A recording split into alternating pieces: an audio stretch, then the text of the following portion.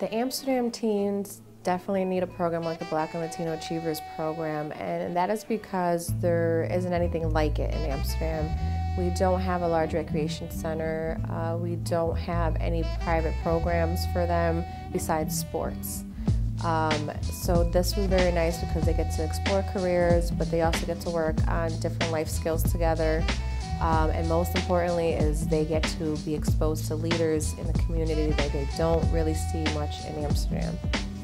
It's important for young people to see someone like them achieving more because it's it's different when you see it in person happening versus you know a parent or an elderly person telling you that it can happen. Reading about it in history class um, is not the same as when you actually see someone who's young uh, ambitious, successful, working hard. Uh, those are all traits that our young people need to see. Uh, you know, this is what you need to succeed, and and then the, anybody can do it as long as you have the willpower and the structure and you know the discipline to do it. Uh, you can. It doesn't matter your resources that you have. You can do things that you want to do. Because of the Y, Amsterdam teens have the tools to succeed.